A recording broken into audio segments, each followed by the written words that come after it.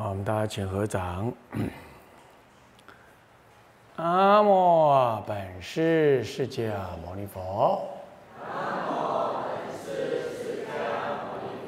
南无本师释迦牟尼佛。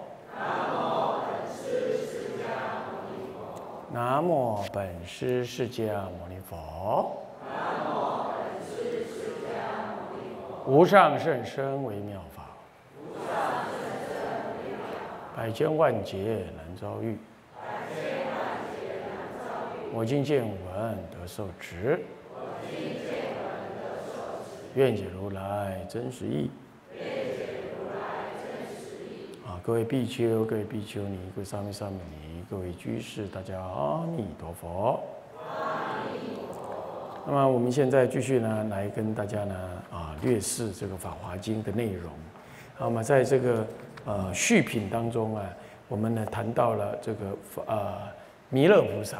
弥勒菩萨呢，他见到了这个无呃世尊呢入无量义处三昧。那么这个无量义处是指无量义处经。无量义处经呢，无量义啊无量义经呢哈，无量义经呢呃是法华三经当中的起经的发起，它的发起的呃这个呃主角啊就是我们呃的主要的菩萨发起众的是文殊师利菩萨。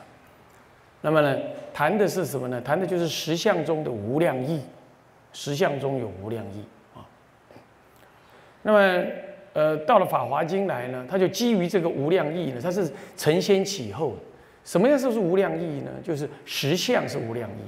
那么实相当中最核心要表现的就是般若见解。什么叫般若呢？般若你可以你可以勉强解释为。呃，这个智慧，但是呢，它它不能够就说是智慧，为什么？因为智慧是世俗的一种说法，所以说在五不翻当中呢，它是是不是什么？这这个也可以说此方无，也可以说是多义，啊，有多种意义，所以的话就不翻，不翻成智慧，那勉强说成是一种智慧。你要知道，智慧是通世俗的。你比如很能够处理事情啊，人事之间呢应对很好啊，那么这个呃事情来了这举重若轻啊，很好处理啊，这些这些有时候也会被说成是有很有智慧哦，这样子，嗯。那么会考试会读书，有时候也被那么我们其实我们那个叫做聪明了哈，但有时候聪明就没有那个智慧那么高贵，但是但是我们啊这个老年人很有智慧啊。什么事情处理的很恰当，这个也可以，但这个通于世俗的。有些情况常常是福报所成，因为他有福报，所以说呢，说说什么都可以，话最颠倒，嗯，含水了就结冻，意思就是说他说了就算了，因为什么？因为要要是不行，反正他会出钱嘛，啊，反正他会怎么样？他会把事情解决嘛。所以大家呢都顺他的意思，就嗯，我看你顺他的意思，那我也顺他的意思。那第三者看我们大家都顺他的意思，那么第三者也顺他的意思，那结果他很多事情说了就就能解决，这也是一种福报。同样的事情，同样的回答，这个人讲的呃是这样做，没人相信；但那个人讲的，这大家都相信，一模一样的内容。啊，就是。你也可以说，有时候是叫道德，但有时候是是福报，这不一定。我像广清老和尚，人家什么问他，他就说两阿弥陀。哎，奇怪，大家都回去念阿弥陀佛。但换成人家来问我们，我们跟他讲两阿弥陀佛，哎，他听了，嗯，真的吗？他就要想一想了。为什么？因为道德修行，这不一定是跟智慧那么直接，但它显然表现出你的实践。你的行门，你的道德，你说了算，他就去相信，他就等你一句话，他哪怕他猜得出来你怎么说的，他还是要从你嘴里得到这句话。那你说了好算，那就对。人是这样子的，这个事情呢，充满在各种地方。你比如在政治政治人物，比如说这个政治人物年老了死了，半路半路怎么样了？被抓去关了。他儿子出来，他老婆出来，他女儿出来，哎，照样选得上。他老婆当年是做这就是家庭妇女的，政治毫不毫毫不懂，没关系，因为他承载着他先生的那个政治资源。那什么资源呢？因为大大家相信他先生，现在呢，谁也别信，就信他老婆，就信他女儿，就信他儿子，就把他儿子推出来，老婆推。所以说，为什么政治政治政治场合当中会有家族政治，也是这样来的。这人的那个信心，人的人类的信心是很不足的。当他对什么东西建立信心呢，他就不想动。我说在凡夫境界是这样，这种情况呢，就表现成为一种。他其实是很无名的、无知的，也是一种党派相结的概念。党派，哎，这块肉你别拿，我也别拿，我们都给老大拿。那将来老大的儿子继续拿，我们大家就我们的利害关系就平衡了，这样子。所以我等你一句话。但是呢，在修道来讲的话，就两种情况，一种就是真的叫智慧，那种智慧就是他智慧一定配得道德。道德有时候不一定要那么多智慧，但是他有道德，他就看起来有智慧。但光有智慧啊，光有那些经验呢，你没有那些道德来折服人呢，你讲了，人家还是不一定听。这点要了解。所以说，就没办法解释成为智慧。般若这个这样内涵呢，它带着一种实践的道德跟了解真理的实相的。这种认知，那可以叫做一种智慧。这这这种智慧不是通于世俗的，不是生灭相，是就近即灭，导向于即灭，这叫做智慧。这这这叫般若。那么呢，世尊呢？世尊在讲无量义的时候，就是在结合般若见解，特别是大乘的般若见解。这就是这就是世尊出世的时候呢，有四个时间，他调手。第一个时间是直说界外大法，就三界外的大法，直说这个法。这个法呢，不说给凡夫听，也不说给声闻人听，但说给已经等待他成佛、再次说法的那些菩萨们听。世尊呢，在降。在降生人间的时候，在兜率天进入兜率天之前呢，在四禅天，摩西所罗王那个王四禅四禅天的天王那边呢，呃，与什么呢？与所谓的毗卢遮罗佛现的是四禅天的，他要有相，有色相。色身的色界的最高，最高的四禅，那个不是正悟哈，那是一种禅定。但是圣人会寄居在那里，他视现在那个四天王天的这那个地方，那么呢，以这个什么呢？毗卢遮那佛、卢舍那佛，所以报身佛视现，那么呢，就做千叶莲花讲说菩萨界，讲说菩萨界的时候。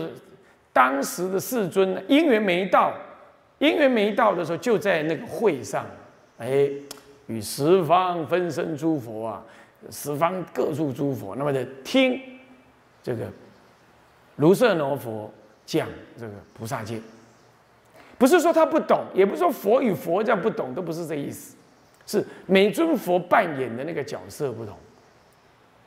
那么讲说了，因缘到了，他观察因缘到了，来到。到了一天，准备投胎，等着父母的姻缘。那最后降生，这整个的过程呢，看在界外的菩萨当中呢，他们都是看得清清楚楚。那我的老师，我的老师现在事件这样，事件那样，事件那样，他都知道。所以等到世尊来到人间，视现成佛的时候啊，那个人间的佛是很小一尊的。你讲到妙音菩萨品的时候，哇，那个这这这这呃呃呃呃，诸佛是六万六百六六万多游巡，那他是四万多游巡，那我们呢？哇，几尺，才几尺，那就真真的就是跟细菌一样小。那佛世界在人间也一样，要世世界的细菌一样小，那糟了，那那些菩萨们呢？常年等着讲听经闻法的菩萨们呢，也要等待。他要等待世尊重新入灭，呃，重新投胎，然后重新正正果了之后来讲法，他们又会来听。为什么？因为从地涌出品当中告诉我们呢，有太多六万有六恒河沙的九住在此世间地下九住的菩萨，六恒河沙一一一一一菩六恒河沙的。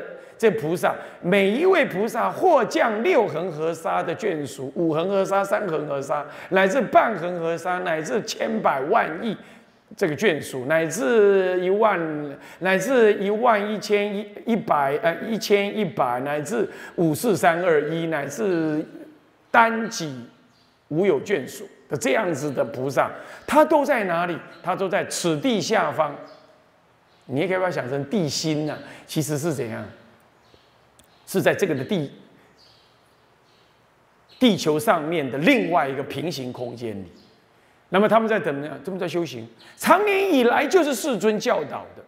我已经熟悉了释迦佛的教法，所以释迦佛再来人间成佛，对我对那些菩萨来讲，那是刚好而已呀。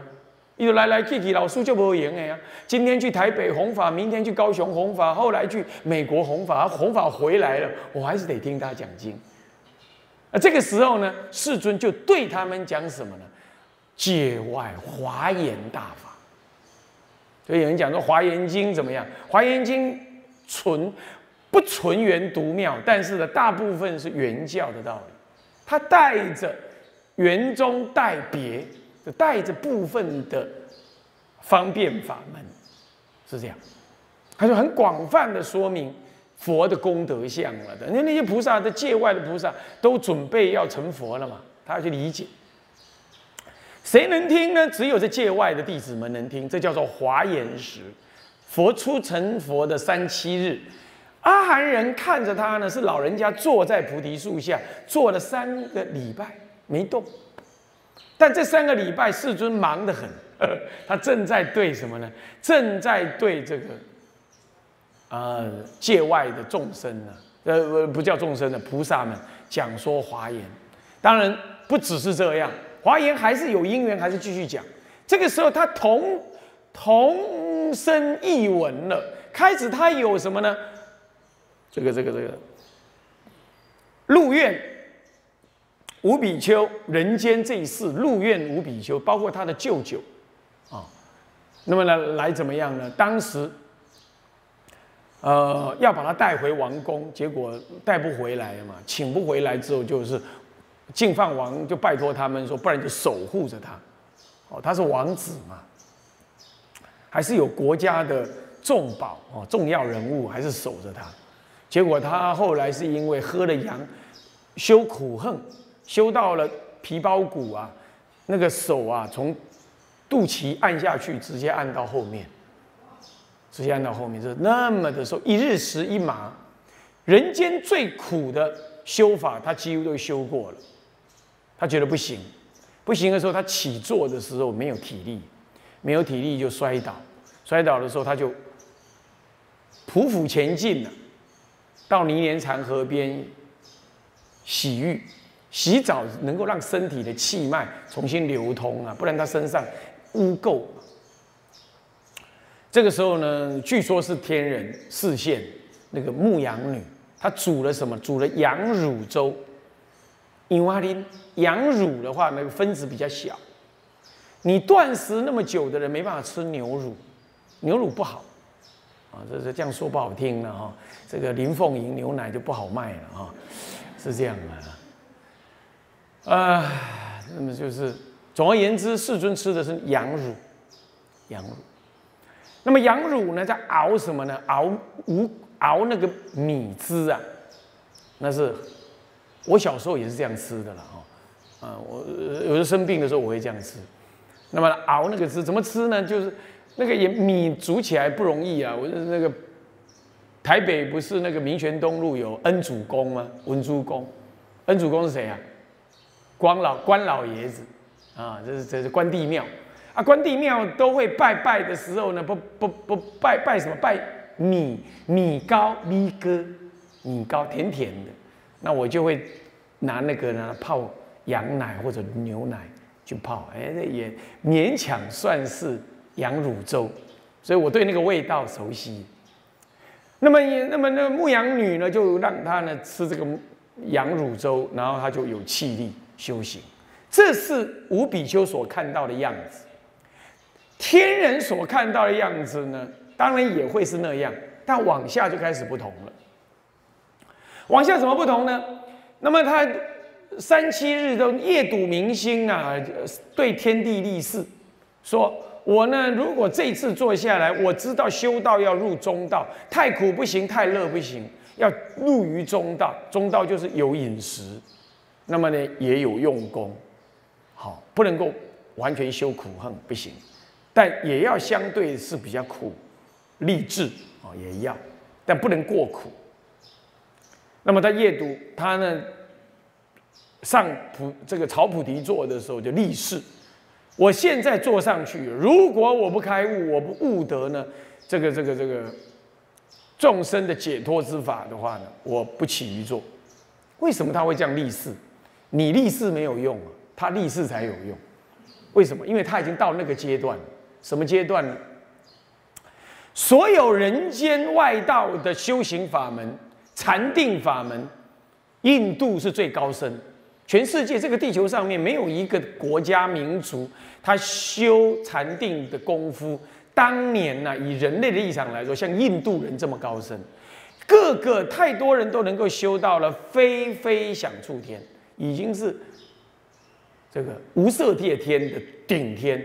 没得修了，以人的身体再修没有了，往再往上去叫界外，出不去，到顶，到顶出不去，那种状态是什么状态呢？就是连个意识状态、分别意识的自我感都没有了，不是破了，是没有，就没有就不起作用，有点像什么呢？有点像种子被大大石头压住。不长树，不长树枝，不长芽出来，但不是死了。大禅定的石头一挪开，它那个烦恼种子还会再长。但是那个禅定的石头有多大呢？有多大呢？八万大劫，八万大劫那么久，能够放那么久，能够能够支撑那么久，它是从。一二四八这样来哦，那八万大劫。那么这个因为这样，所以他不能够思维，没有那个我感啊，没有我感之后，他就没有烦恼感啊，他又没有开悟，又没有破我见。但是又没有烦恼感，啊，结果这八万大劫都耗在那里，浪费掉了。这就是所谓的空无边处、事无边处、无所有处、非非想处。到了非非想处的时候呢，的众生是这个样。这个就只有印度才有这个名称。在佛出世前三千年，印度人就能够修到这样，就能修到这样啊。汉人的文化里头有这种人，但没有主流，也不记载在典籍中，所以连这个名字都没有。汉人的古书里头没有这个所谓的“呃空无边处，事无边处，无所有处，非非想处”这种观念的没有。汉人的古书如果没有佛教在两千年前引入的话，汉人古书当中能够描述的东西，只有现在能够描述的三分之一，可能还不到。不到。他的很多观念都是从佛经来的，汉人本来就没有，文化里头没有，文化里头没有，是不是没有人修到这样就不知道了？但是文化里头是没有，所以他没有这种禅定概念。哦，什么儒家讲定静安律德，有没有定跟静单独一个字静字？那个静字深奥到这么深呢？那么呢，外道修到那里再也不能修了，没能力修，没工具可以修，因为已经没有一个我执的苦可以让他存在感了，他就没没得修了。结果世尊呢，很快的两个礼拜、三个礼拜就修到那里，我停在那，他从他从初禅、二禅、三禅、四禅，很快的跟外道一起修，六年当中，很快的就修到了，还不到六年了吧？几年了？忘记了，就大概两三年之内，他就已经从一个凡一个没有禅定的人，一路从初禅、二禅、三禅、四禅，然后空无先不空呃四无边。空无边处，事无边处，无所有处，非非想处，就修到那里去。哇！他非得修到那里去的时候，外道老师跟他讲：“你开悟了，你的生死了了。”世世尊呢，就在那观察。他他能够出那个禅定，出了禅定，发现嗯，照样有烦恼啊，不对呀。老师说的这样不对，所以他坐上菩提树的时候，他已经知道没有人能教我了。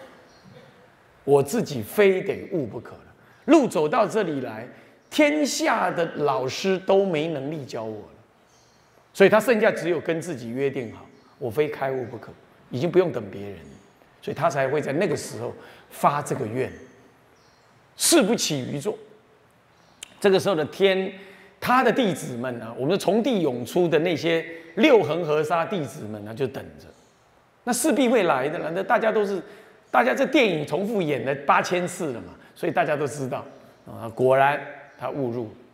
这个时候，声闻人这一世的声闻人，或者这个现在的学者，就认为说，那是一尊佛第一次在这人间成佛，那才不是，那是久远已经成佛，他是演那个戏来给大家看。好了，我为什么要讲这样的意思？就是让你不要被学术见解或者声闻人的见解所蒙蔽。现在这种见解，这个甚嚣尘上，到处都有，啊。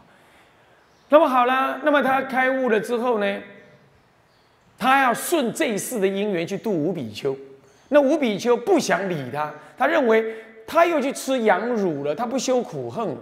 当年的印度以修苦恨为高，他认为他他们所护持的太子呢，有点丢脸，怎么会从修苦恨回来呢？相约不见面，他们五个五比丘没有比丘啊，他们五个人是他的亲戚，还有包括他的他的马夫就车逆，我记得，哎没有不呃他的他的护卫这五个人呢，其中有一位是那个谁呢？阿若乔神如是他舅舅，亲舅舅，大家就约好了说哈，哎那个是屈檀现在已经退道了，你看他去喝羊乳，他坐在树下不知道干嘛。我们哦，不要理他。结果就在鹿野苑的旁边呢。现在印度还在，我们上次去有去啊，在鹿野苑，距离鹿野苑走路大概两三公里的地方，就等着。那世尊知道他们呢，已经众叛亲离，没有人理他了。外道他也要舍离，他剩下一个人孤独的面面对这个要开悟的事情了，就终于开悟了。这个这个就不必多讲了哈，讲的太伤神。那么这他就开悟了之后，他就第一个知道说那个五比丘在那边呢，五个人在那边呢，打算不理他，他就走过来，走过来的这五个人呢，说好了不理他，他远远看到他来啊，那整个那个庄严相啊，完全忘记了他们的约定，就站上来，五个人都不用讲，完全涌上去，一看到世尊就跪下来，然后啊，善来比丘。连询问他们都没询问，就直接把他们五个给剃了，而且都不用拿菜剃刀，你懂吗？善来比丘讲完，头发就掉了，胡须也掉了，然后天上就掉下来袈裟，那穿上，那是心念所感啊，一点都不难哦。观音菩萨以因以何身得度，本来就能这样，观音菩萨都能这样，是何况世尊？他们就开始修道。这个时候的人间历史来记载他的话是说，哦，那释迦佛第一次成佛，第一次开始有五弟子，五五五罗五五五位五位声闻弟子，他才开始讲阿含经，才不是这样。但是人间的记录是这样，人的凡夫肉眼能看的就是这个样子。真实的情况是怎样呢？真实的情况是他坐在那里，还没来度这五个人的时候，已经开始讲华严经。那么来度了这五个之后，他继续讲华严经，那怎么办？他没有跟五比丘请假呀。他没有说，哎，你们我等下讲了，你们听不懂啊，你们就去睡觉，或者先去干嘛啊？等下我我现在去跟界外的我九九九九年长久无量劫以前教导的弟子呢，跟他们讲华严经，不是这样讲的，不是，不是这样子。他怎样？他正在人间看到的是他对五比丘讲，他对五比丘讲，但是在法界当中呢，是一群什么呢？一群他的所谓六恒河沙的久远已度化的弟子们，从地涌出呢，听他讲华严。同一个时间，他讲，比如我现在正在讲，你们听到是我在讲呃《法华经》的这个简介，但是鬼神听到的不是这样，听到是我们心里头另外的一传话，所以叫做同听异闻，懂吗？同样都在那里听异闻，异闻有两种，一种是。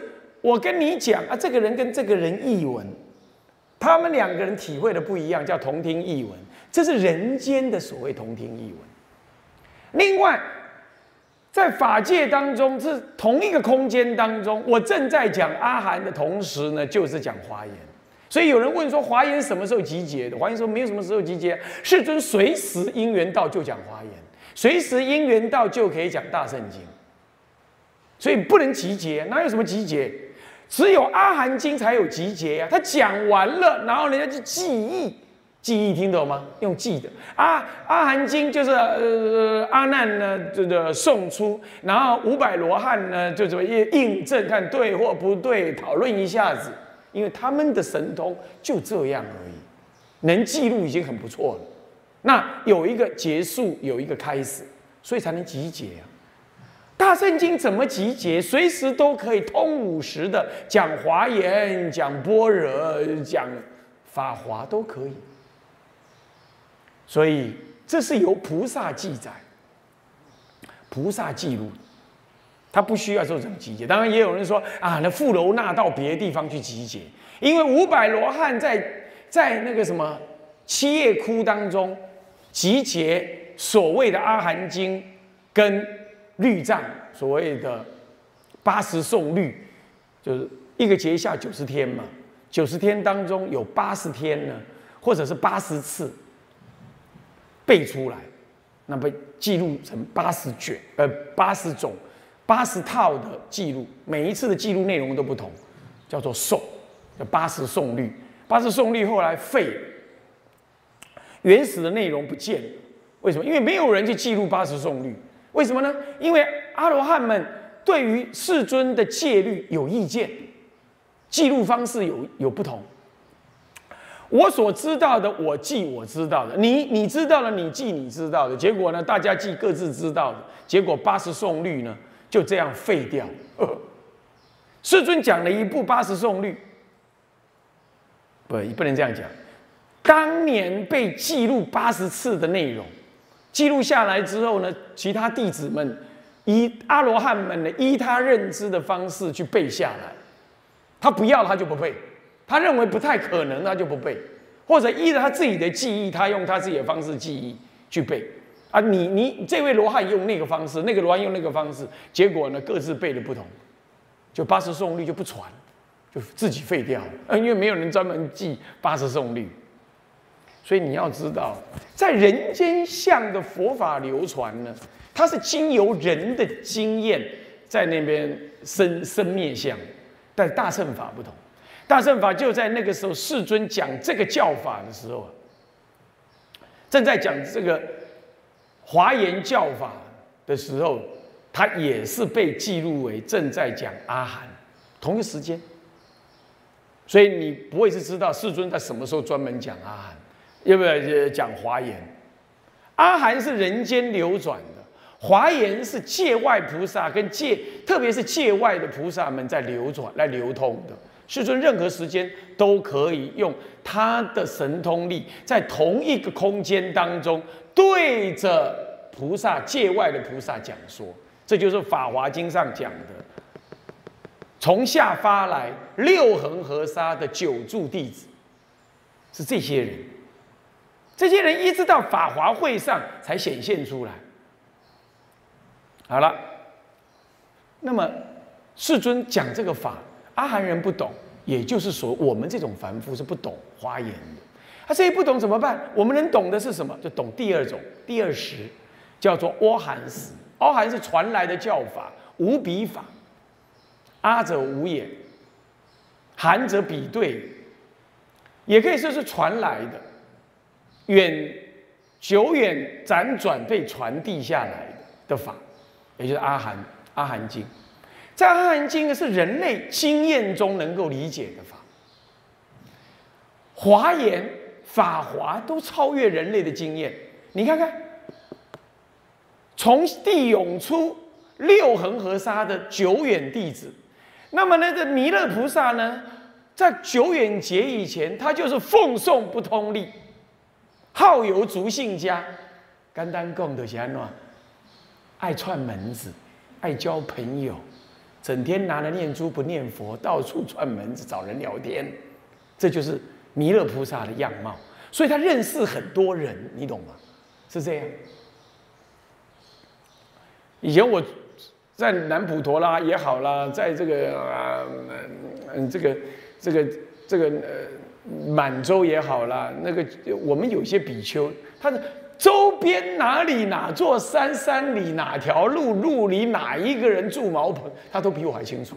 我都住了十年，我还搞不清楚这哪里有哪里，我忙嘛。啊，他们呢，好游族姓家，到时候去串门子，通通周边的人都认识，自然是这样。结果凭他这样包打听。弥勒菩萨这种到包打听的，这六万恒河沙弟子一出来，戏呀，死了，没有一个认得。他觉得我马卡喊结束了，有一点离谱哎。我都已经是包打听了，怎么这一个我都不认识呢？他就去问佛，说这奇怪啊，这些这些老兄们，这些大德们从哪来啊？哎呦，每个都是武林高手，都是什么大菩萨们。这样世尊呢？大眼不瞧他一下，这我弟子啊，这更把什么呢？更把弥勒菩萨给吓坏了。你的弟子，你的弟子，我哪一个不熟啊？这怎么会这个六万恒河沙没有一个我认得呢？吓坏了。这就是人间相，懂吗？弥勒菩萨所表现的就是表现人间相那个样子。了解吗？就就就就就就认为世尊就现在成佛嘛，啊，成佛了就出前耶城度化众生嘛。哪个弟子我弥勒菩萨不知道的？啊，开玩笑，我掰打听哎，我包打听，哪个不认识？现在的六万恒河沙没有一个认得，这怎么可能？世尊还说你教他的，你成佛四十年呢。你怎么可能教那么多呢？不吃不喝不睡，也不可能教出这一类人呢。好吧，就算你教得了他们，他们修也不可能修四十年修这么好啊。他就是在怀疑这个，他就是在怀疑这个。师尊跟他怎么讲？所以跟他讲一讲，你你应当披荆进凯，应当相信世尊所说，说了三次，因为很重要，所以说三次。这种道理，世尊那个时代就已经知道了，很重要，所以说三次。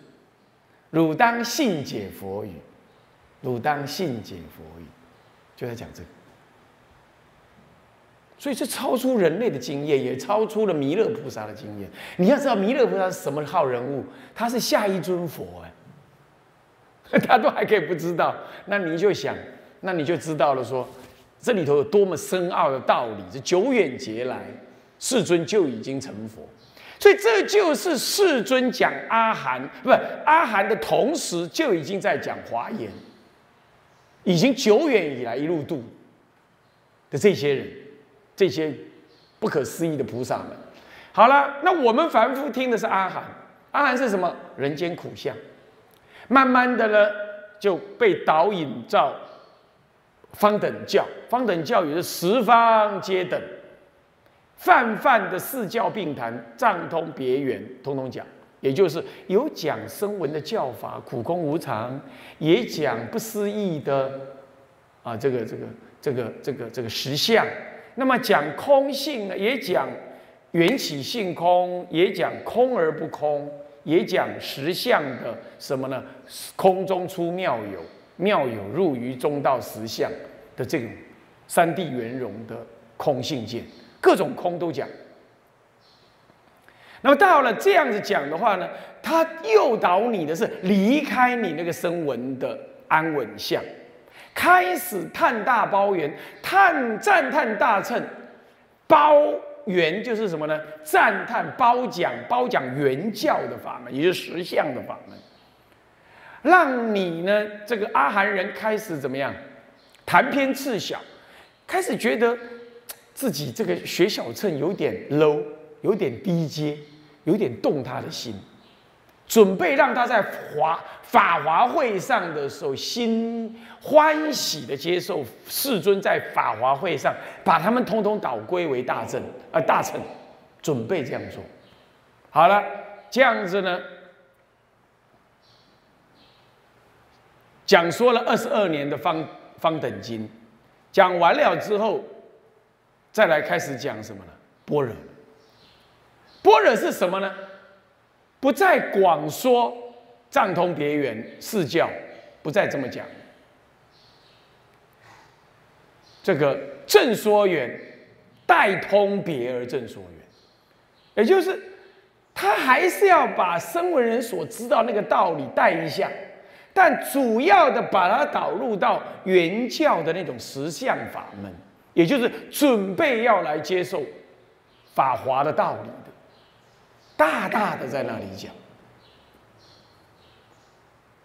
讲的般若，重点在讲这个实相的道理，但是要带上把过去他懂得这个通别的道理，把它带上来。好了，这样就调熟到般若时的时候啊，终于准备好了。准备好的最后一个阶段干什么呢？世尊。基于呃，跟这个文殊菩萨是演了一出戏。文殊菩萨有一次就在世尊呢，准备差不多因缘到了要讲法华的时候啊，他要把般若教法总结，然后才让世尊整个导导引进入法华来。那怎么办？要做个总结，可是众生都不知道啊，那怎么办呢？他就。请世尊讲的《无量易经》，所以《无量易经》就是总结般若第四十，引入到法华涅盘第五十，这时间的时五个第五个阶段，总结第四个阶段，进入到第五个阶段的一个承先启后的一部经，它叫做《无量易经》。那么世尊讲完《无量易经》之后呢，就是把法华的序曲打开了，懂吗？就是所谓的大门已经准备好了，大家已经带到了法华的这条这间房子前面来。那么要让他让大家看一看这间房子有多么富丽堂皇。进入法华这间房子啊，干嘛？一定要卖个关子，所以世尊就去入定，就去入定。讲完了《无量易经》，这就入定去了，哎，就是让你们在房子外面参观一下，才要带你们进去，你才会专注嘛。这参观的状态就是续分所讲的，懂吗？这个弥勒菩萨正在参观呢，他说他看到了什么，又看到了什么，他开始怀疑啊，哎，安乃西咒安呢？啊，怎么这个房子长这样？啊，怎么这个是这样？啊，怎么是那样？充满了疑问啊。到底世尊是要讲什么？盖呢？要带我们到哪里去？盖的房子是长什么样？就在讲这个是比喻了哈。我在讲的是比喻，意思就是说，他要导引到第五十来之前，一定要让你对第四十做个总结，第五十做个 review，做个这个这个做一个鸟看。所以续分呢，正在说什么？它续分真正是什么？一般来讲，续就是指的说发起。可以，就是发起，发起就是序序有点什么序言，就是说讲一个大概这样子。其实序分很重要的。序分是很重要，序分就是讲一个大概，那个大概一定让你不清楚、不清不楚啊，所以你才会产生什么强大的好奇，往内文里头去听。这第一种，第二种就是交代交代整部内整部经的主要精神，或者你看我们我们一本书，我们写一份写一封序，写一写一张序。也是在总说这个教法的这整部书的主张。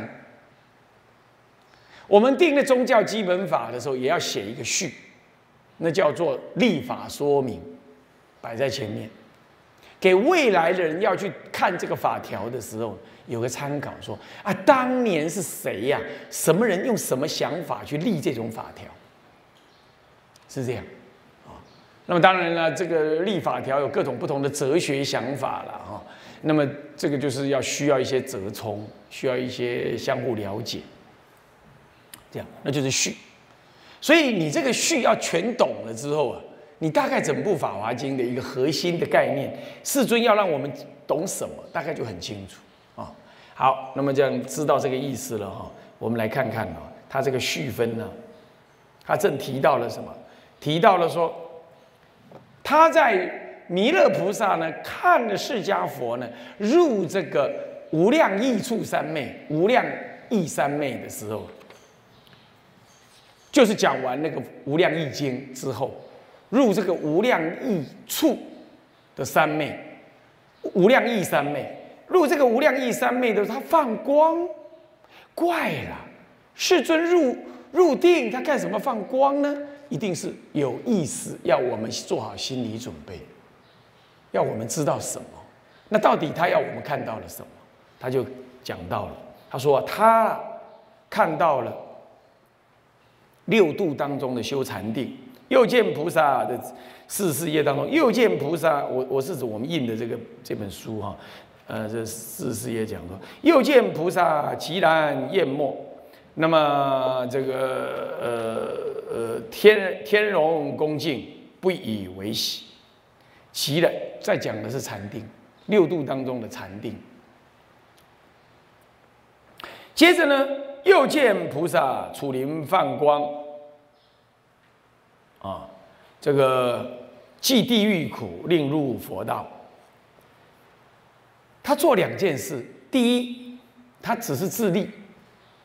寂然淹没，寂然淹没自立成就，不动不摇。这个寂然淹没不是身体的不动而已，心也不动。一心一不动的时候呢，天龙鬼神就知道了，知道他就来恭敬你，懂吗？天人鬼神哦，修仙道的、鬼神道的，他会跟人是有连结的。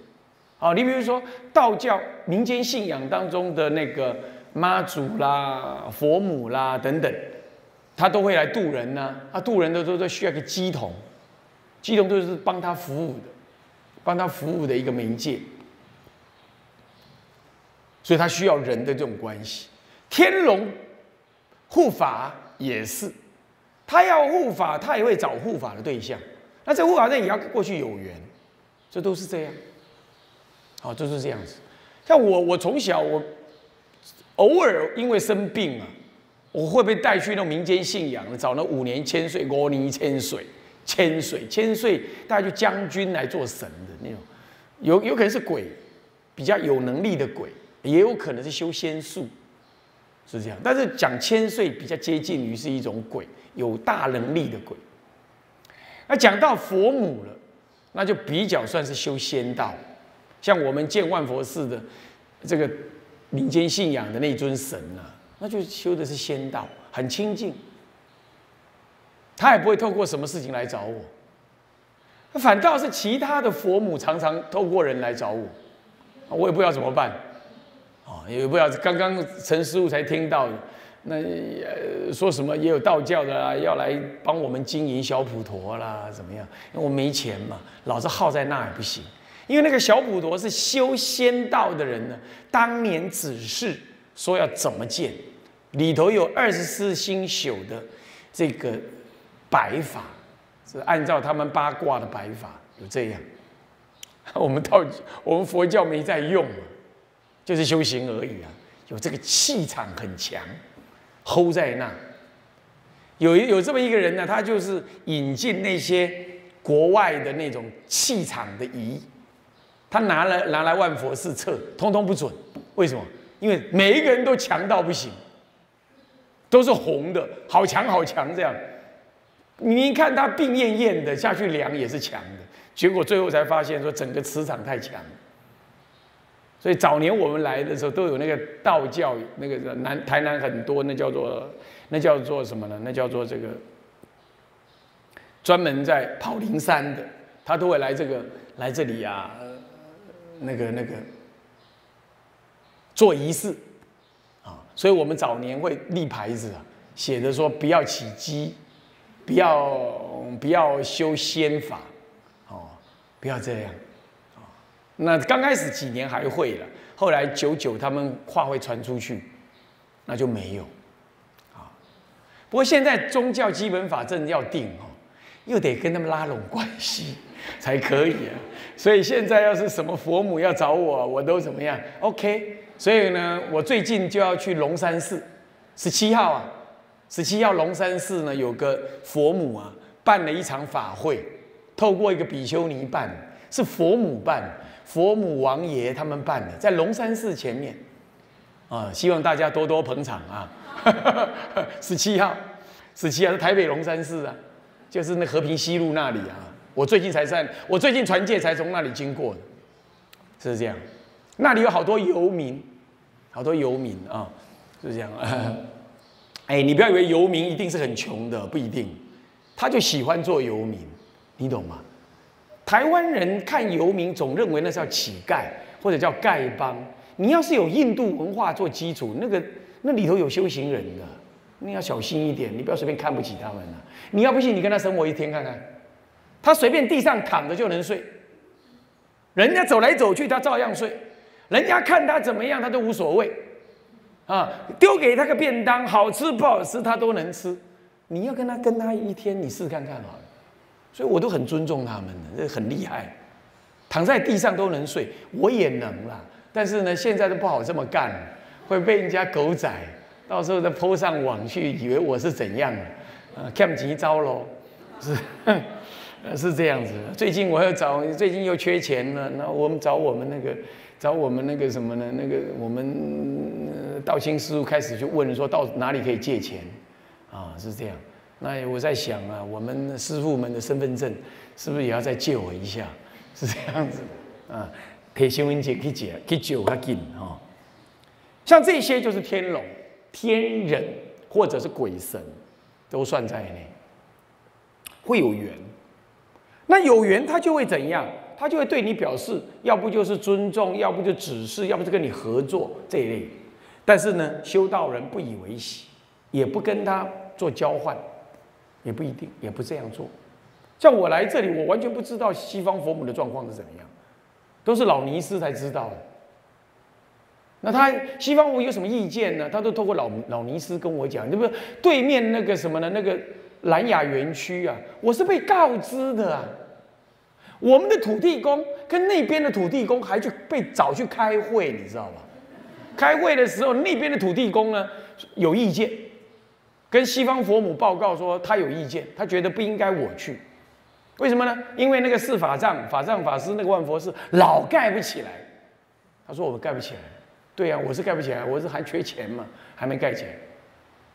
那这个这个还来接这个这个这个这个蓝雅金色，太辛苦了。他没有恶意，他说太辛苦。我们这里的土地公呢，当场表示异议，他说啊，没关系啦，这个我们会帮忙了。不过话说回来，帮到现在怎么都没有钱进来。这他是会帮忙的情况是怎样？结果后来呢，西方佛母就说好了，那可以。可以，他就跟老尼斯讲。老尼斯有一次打电话给知客师傅，那知客师傅告诉我说，老尼斯很急的要找你。我说老尼斯，我们来这七八年、五六年了，根本没怎么打招呼，他忙他的，我忙我的，怎么突然间想急事找我嘞？哎呀，有点有一点忐忑啊，没什么胆机，就来了就扑隆扑隆讲啦，说什么有人要来买他那块地啦，要花多少钱多少钱啦，后来没买成功啦，巴拉巴拉巴拉就这样讲。我什么话都没说，我我就知道了。我说我现在想，现在不要跟我谈钱，我根本没钱。那老尼斯也看我面露难色，他也知道，他就跟我讲了。不过呢，佛母点名你，法师你。我，嗯，我可是我没有钱呢，人家要跟你买两亿啊，我没有钱呢，两个亿，我没有钱呢。老尼斯说：“啊，不要紧啦，自己的人算较俗的，自己人算便宜一点，意思就这样。”那最后就七讲八讲，我说我现在没现金呢，啊，自己的人慢慢的留的啊，慢慢的有多少拿多少。其实老尼斯根本不是在卖寺院。他是在讲一个诚意，老尼斯，西方佛母跟老尼斯讲，他说：“我们交给三宝就好了，这很了不起。”所以说，后来我因为这种话我听，我才知道说，修仙道的人的的的的的的神奇呀，或者是鬼神呐，其实很有的都很提得起放得下，他可能就视线在那里修仙道。是这样，我们跟他根本没有，我们没有这个特别的用意啊。我后来还提，我后来提议说，人家那个藏传佛教都有那种护法神庙，我们是不是也建一个护法神庙啊？你知道那西方佛母怎么说？他透过老尼斯说啊，不用啦，我就在那。后来我们就带大家去，哎，啊，我没有带大家去了哈，下次我看有不空，我带你们去。很庄严的，学师傅都知道啦，信师傅啊，陈师傅、辉师傅都知道，他们都去过了，在哪里？南化，南化，南化那个山上面呢，它是第一间，很庄严，圆的，圆的。那么呢，西方佛母的本尊就在那里，很庄严的。嗯，那我偶尔会去一下，啊，然后请他帮忙啊，赶快这里建好啊。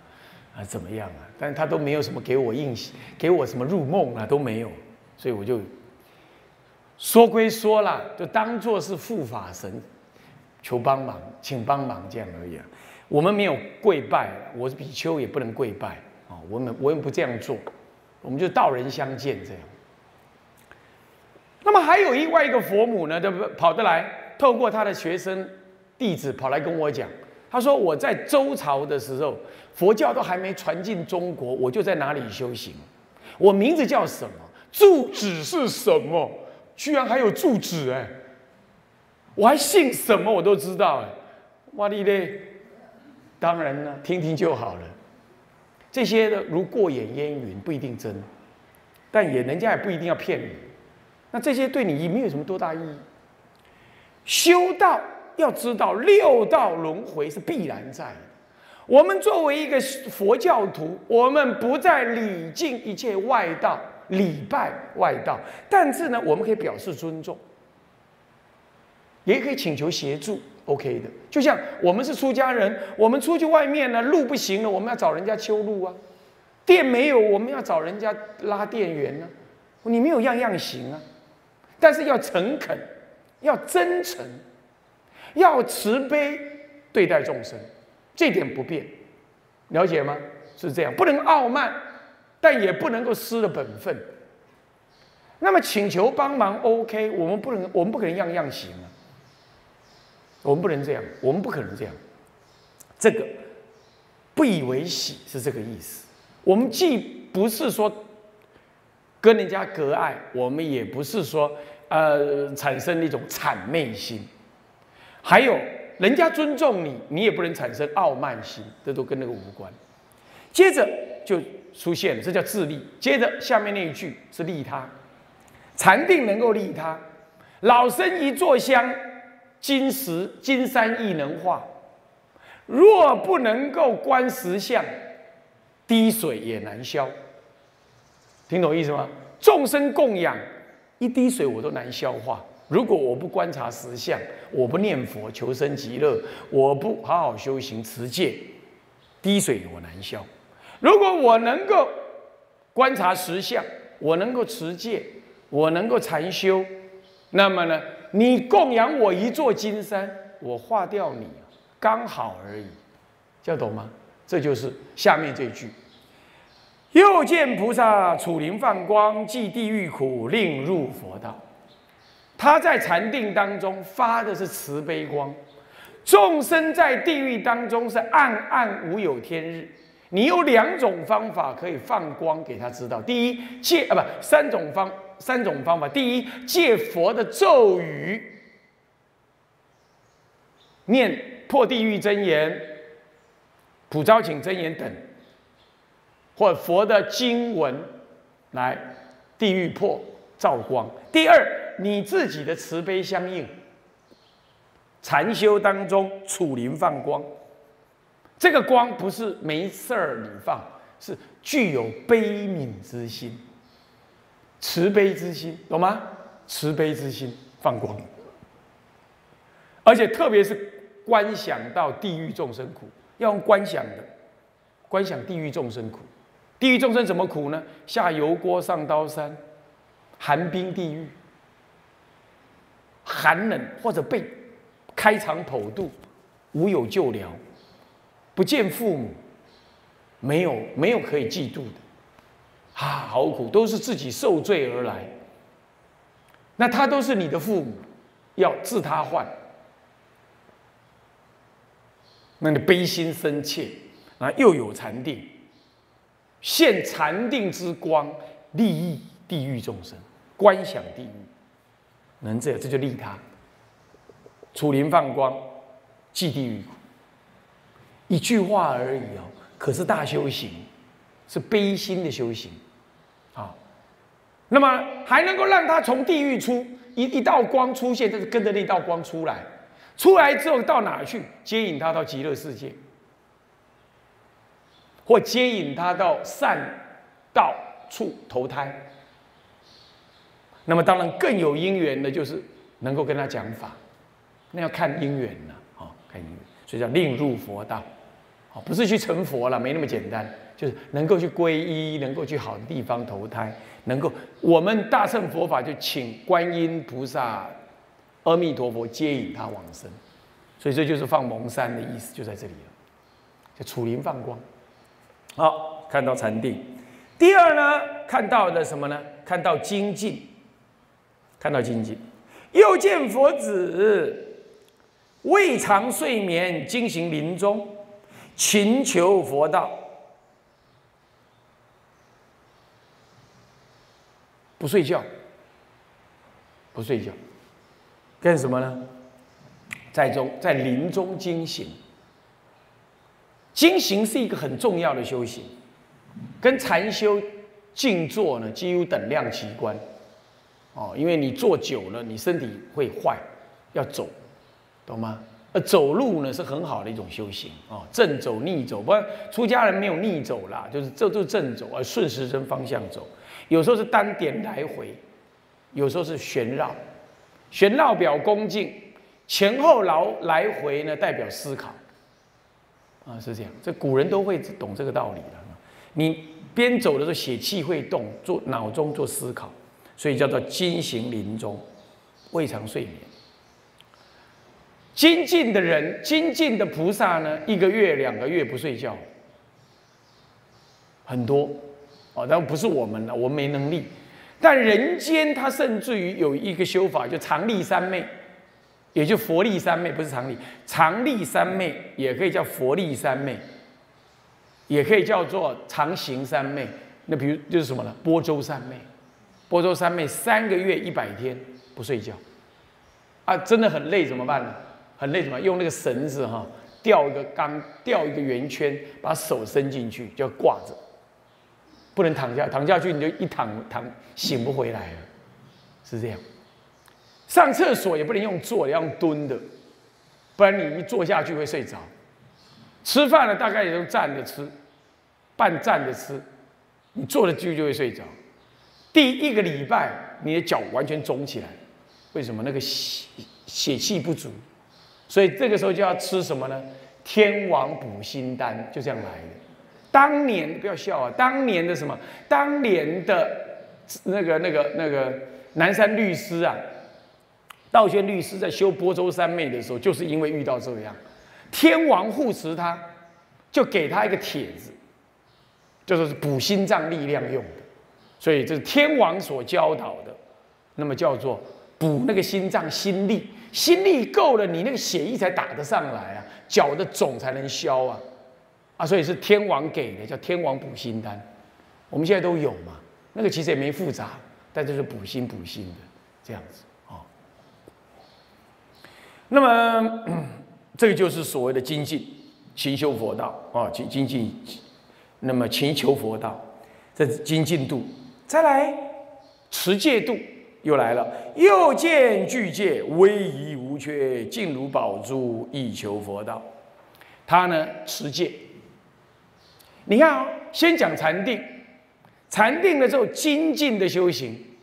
精进的修行呢，虽说精进，如果没有戒律呢，一切精进有漏，所以又以戒律马上跟上来就是戒律。这是久修的人，他先讲，先讲他禅定，不然应该是施戒忍静禅啊，不施持戒，要持戒在第二才对。那但是这里呢，他他把顺序倒了，重新变换。啊好，那么呢，就又见具戒威仪无缺，又看到有人持戒，持戒是一种表现，是一种动作。那我怎么能看就知道他持戒呢？你知道什么原因？因为戒有戒相，相就是表现出那个威仪一样。持戒人的戒相，他有他特别的样貌，他会看得出来。有人把这个界相内缩。为一种随缘放旷，那就比较属于禅宗的修法。他的心是很警觉，可是他他表面出来表现出来比较随缘的样貌，那就没有那个界相形、界相出来。一般凡夫就看不出来。这里的话就是他就是看得出来，他任何凡夫都看得到，就是庄严的样子。啊，人家这样看的比较欢喜。世尊说啊，利益众生最快的有两个方法，让众生信服于你的，相信你最快。第一种啊，修苦恨啊；第二种持戒，那大家都看得到，眼见为凭，这样懂吗？那大陆也有道场啊，他。穿的破破烂烂啦，背的背包啦，在外面经行啦，说什么不吃金钱啦，然后呢都等下托钵啦，搞了个好像别人都不是修行人了，别人都假的了，弄得这样。后来的大陆那些出家人也开始在那边讲话，说这个这个这个这个这怎么讲讲，怎么这这要做做成这个样呢？所以持戒可以，但是你不能排他，你懂吗？你看我这么持戒，你看看你看看，我这才像比丘，你们看你们看你们看我像比丘啊，那你像比丘，那别人呢？别人我就不知道了，你这这话怎么说呢？有一次我亲近海公，那么呢正在传戒的时候呢，我就跟海公讲啊，我我也要到那戒场去讲戒。那我就说，传戒的广告上面有讲了一句话，四个字：如法传戒。海公就讲话了，道海律师他就讲话，他说把“如法”两个字拿掉。我刚开始没听懂。你讲如法啊，别人不如法啊。哦，对对对对对，啊，我就赶快去跟我的戒法师兄讲，我说我们又传戒哦，广告词上面广那个那个那个海报词上面“如法”两个字拿掉，依佛字传戒，勉勉强强，我就这样跟他讲，这样懂意思吗？持戒哦，又见具戒，威仪无缺，这个不是拿来区隔众生用。拿来区隔，我威仪好哦，那你们啊，你们就看着办啊。这样不是用这种方法持戒，不是要来跟人家区隔，我是有戒律，别人没有，不是这个意思。